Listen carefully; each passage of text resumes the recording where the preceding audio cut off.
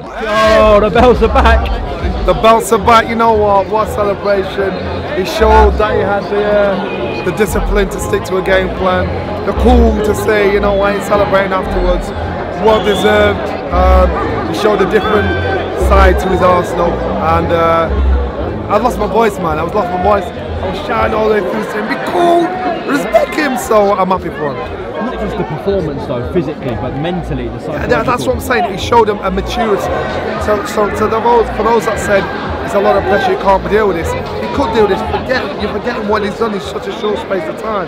So it means he has a certain mental, a mindset to say, you know, I can handle this. Um, you've got to give him respect, and, and no matter what he said or done. Yes, he should have beat Ruiz in the first place, but you know what? He had a devastating loss, and then has come back and fixed that loss. And so you've got to respect that. Where do you see him? Number one, number two, number three? That's hard to shout because I think technically Tyson Fury is the best. I think the biggest puncher is Deontay Wilder. But now he's thrown his hat back in the ring again.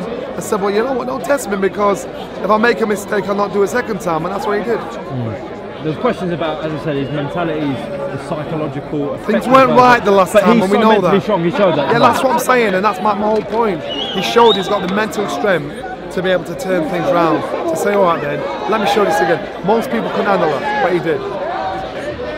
Let him slide by. Um, how did you have it? How many rounds did you give to Ruiz? Every round, Every round. like every round to, to, to Josh. Every round, every round, every round. Call me biased, call me what you want. Call me a fanboy. You know what? All he had to do was that. One thousand percent. One thousand percent. How many heavyweights would have got knocked out with some of them right hands that Joshua landed in Ruiz? Uh, yeah, oh, loads of them. That's why Ruiz, Ruiz is strong. The problem with Ruiz is you look at him and you don't respect him. So when you don't respect him, you think, sure, let me just deal with this boy here. And that's when he catches you.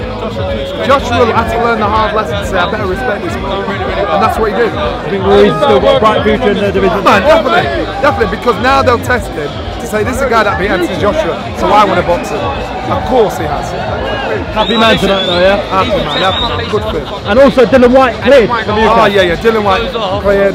You know, he, he- he's not happy with his performance now. I get that. He took the fight. He just wanted to fight. He had three weeks' notice. Uh, he wasn't in great condition, but he knows. It, we all know he's a lot better than that. But he got the win.